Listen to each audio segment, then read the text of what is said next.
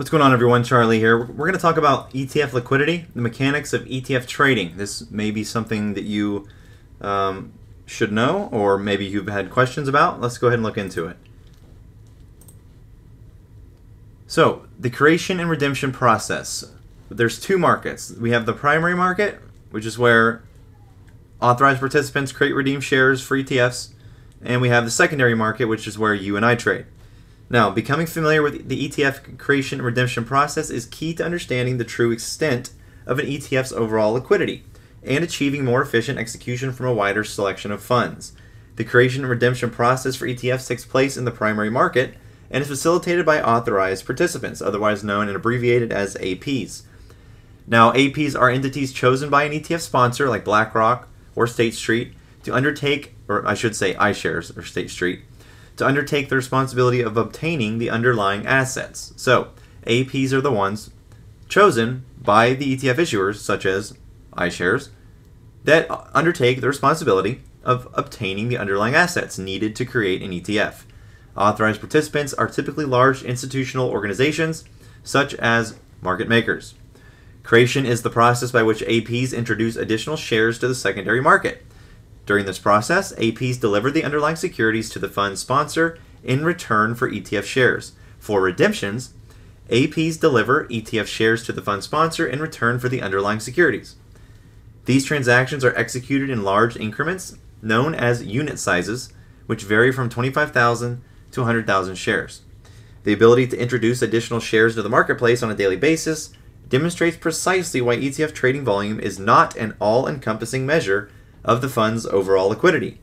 In order to understand the full liquidity of an ETF, investors must also consider the liquidity of its underlying securities. Now, why does an AP create or redeem ETF shares?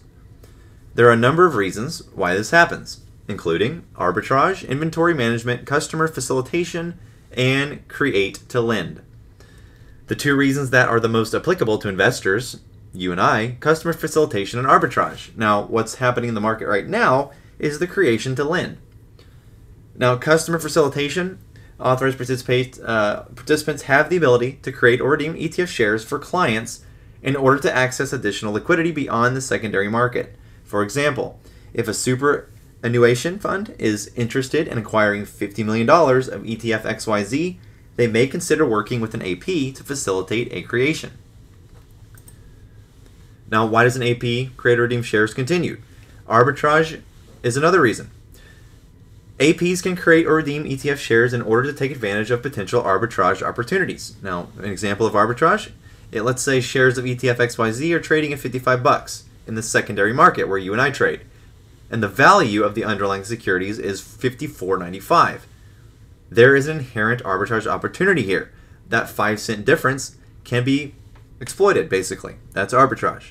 Now, in order to realize this opportunity, the AP would sell ETF shares at $55 and hedge their position by buying the corresponding underlying basket of securities for $54.95, thus locking in the 5 cent profit. The AP can deliver the underlying securities to the fund sponsor in return for ETF shares in order to flatten out their short positions in the ETF. So hopefully that explains a lot about the shorting and uh, of the ETFs that's been going on. Now, this hypothetical example above results in a 0.05% profit or a 0.05 cent profit for the authorized participant. The key takeaway for investors is that this process keeps the ETF market price in line with the value of its underlying securities due to the consistent arbitrage opportunity for APs and institutional trading desks. This is the diagram of the primary and secondary market where the ETF trading mechanics take place. This is your AP here, your market maker. This is your transfer agent custodian here. Um, this is where the transfer of ETF shares and physical securities and or cash are, are, are done. Then you have your ETF sponsor here. Then you have your ETF creation process right here. And on this side in the secondary market where you and I trade, this is the exchange and other trading venues. Investor gives cash, broker dealer gives the ETF shares, market maker puts cash into the authorized participants, and then the ETF shares go out to the market maker. Now again, remember, market makers can be authorized participants. They can also play the role of market maker. They're not the same thing, but market makers typically play the role of AP. Now, bid ask spreads. The ask is the price at which an investor can buy ETF shares, and the bid is the price at which they can sell. The difference between the bid and the ask is called the spread, which indicates the overall cost of transacting in any security plus any applicable brokerage commission costs. Now, if we're not talking ETFs, we're talking straight market makers, the bid ask spread is where they make their profit majority of the time. Now, what does this represent? Well, the ETF bid ask spread reflects execution costs, market risk, and the bid ask spreads of the underlying securities in the ETF basket. These variables are all considered when institutional trading desks make markets for investors. Like most businesses, the cost to the end consumer is highly correlated to input costs. In this respect, ETF trading is no different from any other business. Therefore, ETF traders need to account for different categories of cost when facilitating ETF trades. Therefore, ETF traders need to account for different categories of costs. Again, these categories are creation and redemption fees. This is a fixed cost that the ETF sponsor charges to an authorized participant to create or redeem ETF shares. The fee varies amongst funds and is a cost per order, not per creation or redemption unit. Fees generally range from several hundred dollars to several thousand dollars, depending on the ETF and its asset class. Another reason of cost would be the spread of underlying securities in an ETF basket. Now, the bid ask spreads of the underlying securities directly impact the cost to the market makers to trade the ETFs. These costs tend to be greater for less liquid, esoteric asset classes, such as emerging market equities or high yield credit.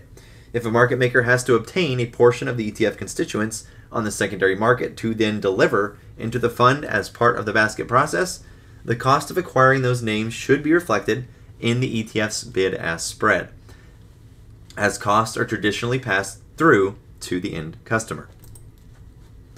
Then you have risk. At times, market risk can have major impact on spreads, especially during periods of elevated market volatility. During these times, market makers are forced to widen their spreads in order to include a buffer for the additional market volatility.